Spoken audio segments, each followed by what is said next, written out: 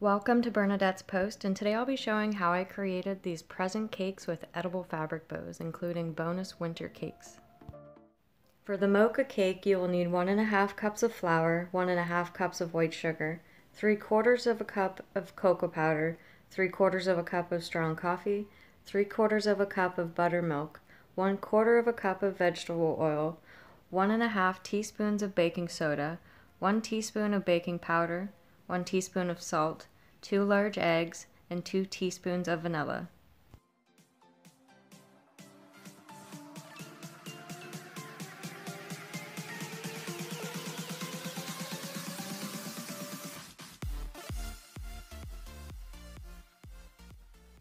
Place all dry ingredients into a large bowl and whisk together.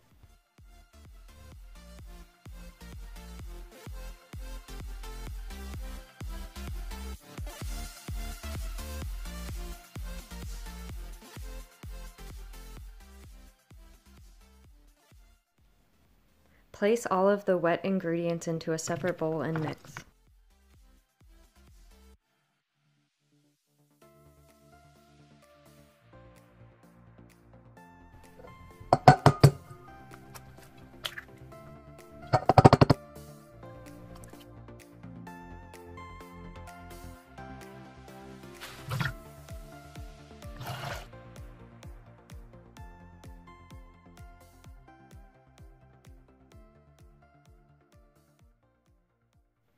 Combine the wet into the dry ingredients.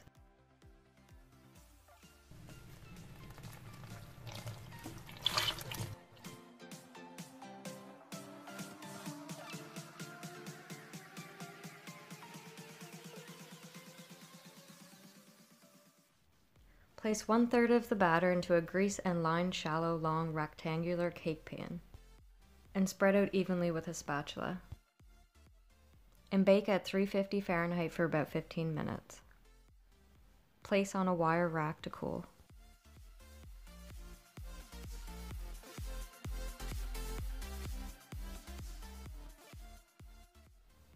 Place onto parchment or wax paper once cooled.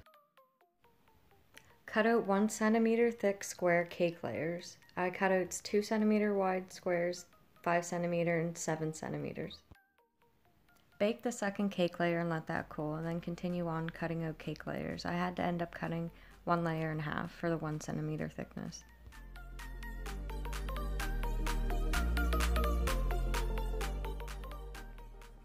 For the mocha buttercream icing, you will need one and a half cups of butter, six to seven cups of confectioner's sugar, two tablespoons of instant coffee, two tablespoons of hot chocolate powder, two tablespoons of milk, and a teaspoon of vanilla.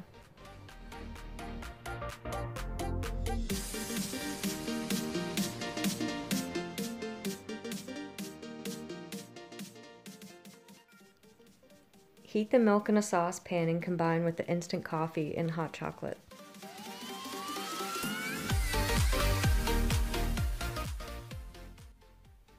Cream the butter in a large bowl with an electric mixer for 5 minutes.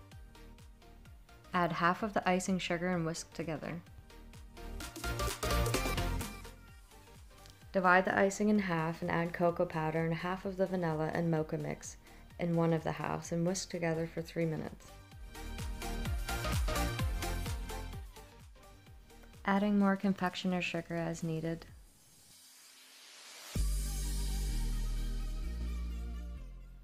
To the final bowl of icing, add the vanilla and a few drops of marshmallow flavoring, as well as the remaining icing, sugar, and a little milk.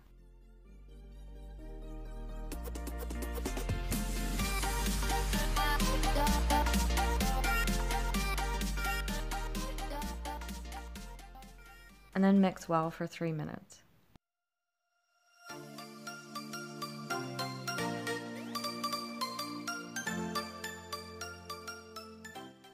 I layered the cakes into squares with mocha icing in between each layer.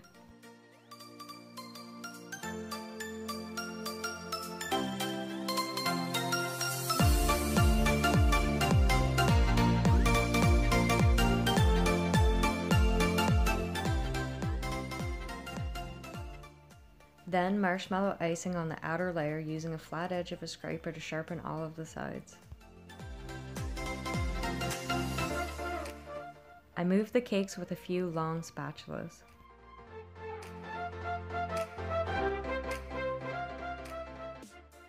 For the chocolate wrapping paper, I used two 8 by 11 inch transfer sheets and three bags of white chocolate chips.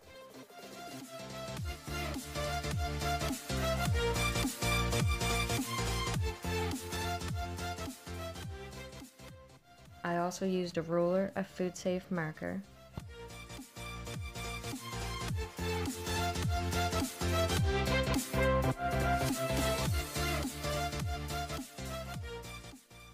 and a box cutter and a cutting board. The sheets came pre-portioned and I cut out six squares of each size, one tiny box, two medium and one large.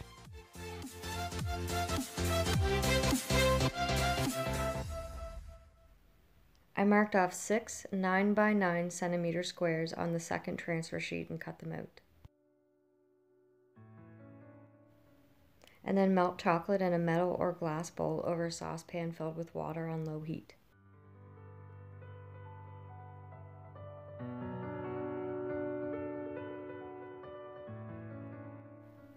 I added chocolate accents to one of the cakes. I dusted the inside corners of a silicone mold with edible luster dust and then melted chocolate, and then chilled that and popped out all of the pieces. I had to make about 20, and if you include the bottom, you'd probably need to make 24. Place a square transfer sheet shiny side down onto a baking sheet, apply melted chocolate, and then set a cake side top on gently. Chill, cut the excess chocolate with a knife, and then remove the plastic. Repeat the process until all six sides are covered. But do not scrape the melted chocolate or move the cake once it's set because it moves the entire transfer image. Instead, cut around the cake once the chocolate is cooled.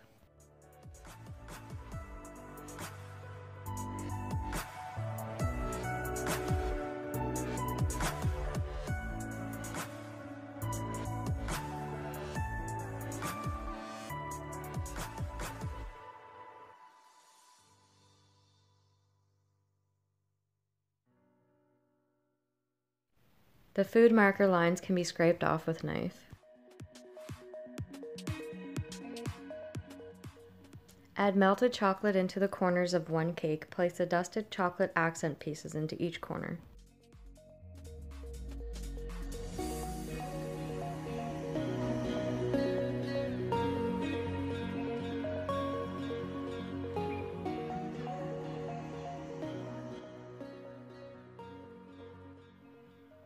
Cut out rectangular shapes with two thin long strips with a triangle cut out of one end. Then cut a center strip with all various sizes to make different size bows.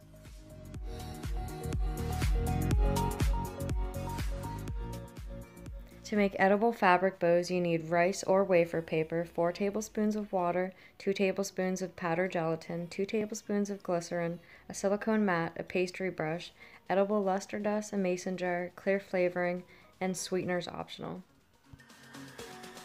Bloom the powdered gelatin in water and let it sit for about 15 minutes after stirring.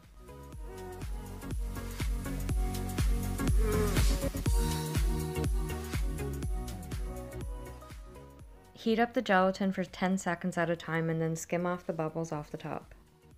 And now you add 2 tablespoons of glycerin and your choice of flavoring. I used marshmallow, and you can use a sweetener. I chose not to, but then you can heat it up for 10 more seconds.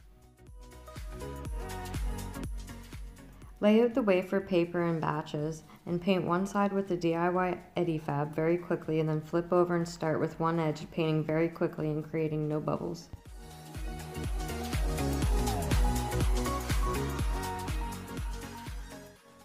And then trace around the paper with the blunt edge of a knife. Let set for 10 minutes and then dust both sides with a second pastry brush with luster dust. You can reheat the edifab for 10 seconds at a time if it rehardens and then move the finished fabric to dry for 30 minutes to an hour and then repeat with the remaining paper and then continue on with the luster dust as well. At first the fabric feels a little bit like plastic.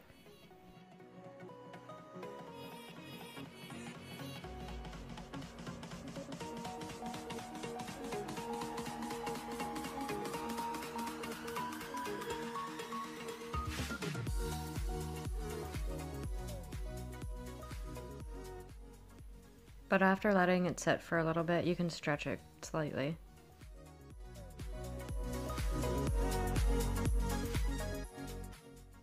To create a bow, wet both ends of the rectangular fabric with Edifab and then fold over. Then fold over the center accordingly and then dabbing in between the layers to secure. And fold back any major pointy edges with more Edifab. Wrap the long piece of fabric around the center and secure.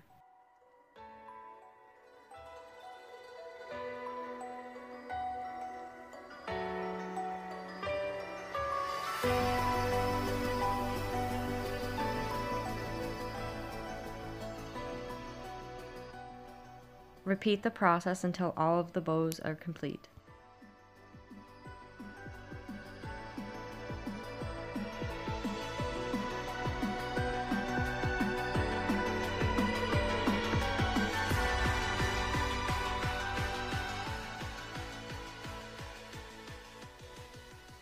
Fold over one end of the ribbon pieces, then secure to underneath of the bow, then onto the cake. Lift the bow with toothpicks if needed.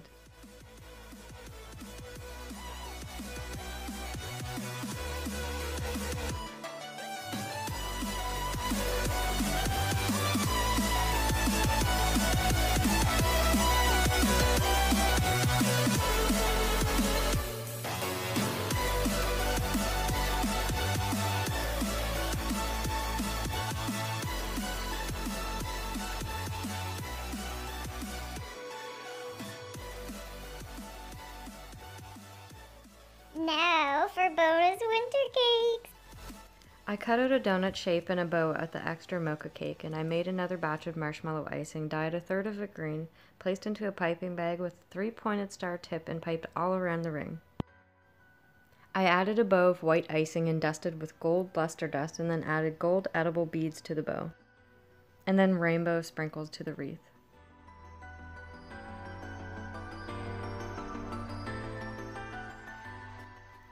For the winter knit hat cake, I cut out four round layers with each layer gradually smaller, adding an icing layer between each, and crumbled extra cake mixed with icing to create a cake ball, and place that on top.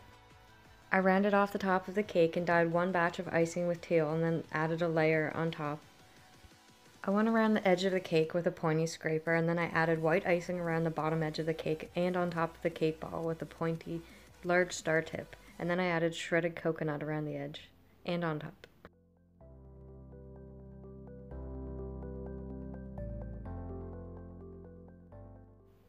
I added straight lines of white with dots in between with two rows of medium star tip designs crossing over each other in between.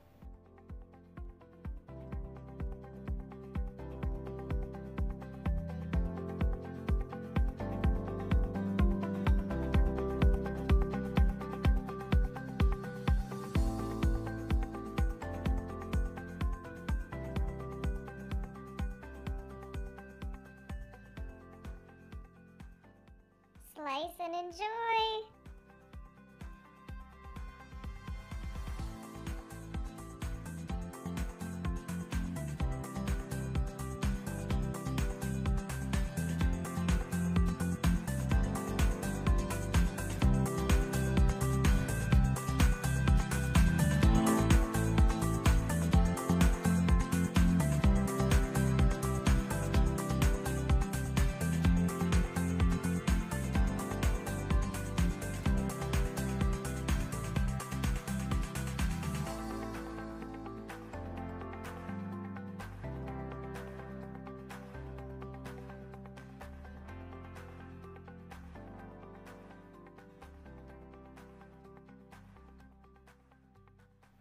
Thanks for watching. I hope you enjoyed today's video. If you'd like to see more of my videos, make sure you click that subscribe button.